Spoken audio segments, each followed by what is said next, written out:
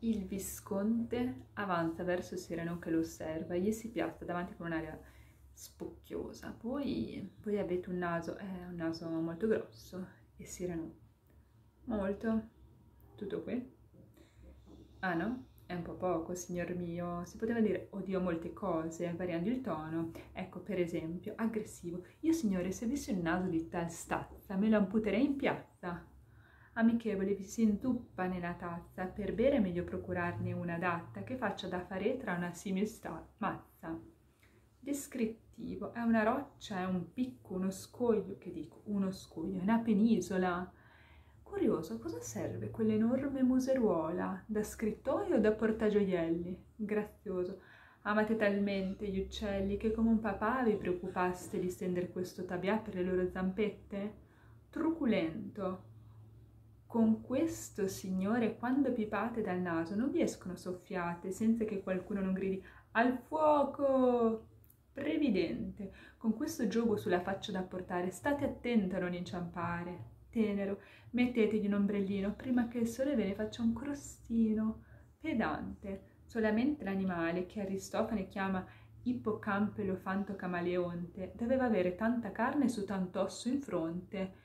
Insolente come, amico mio, è di moda questa zanna? Per il cappello è davvero una comoda canna.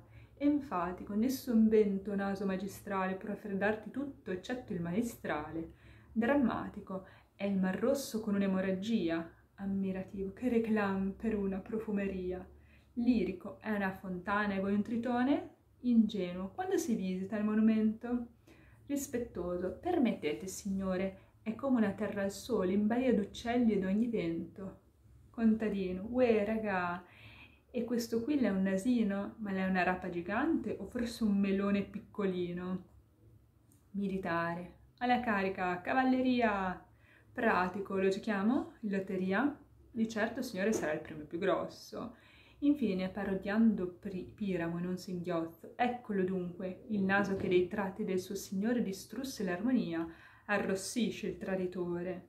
Ecco all'incirca mio caro quel che mi avreste detto, se fosse stato un po' più letterato ed intelletto, ma di spirito voi, il più penoso degli esseri, non aveste neppure un atomo, e di lettere avete solo le sette della parola.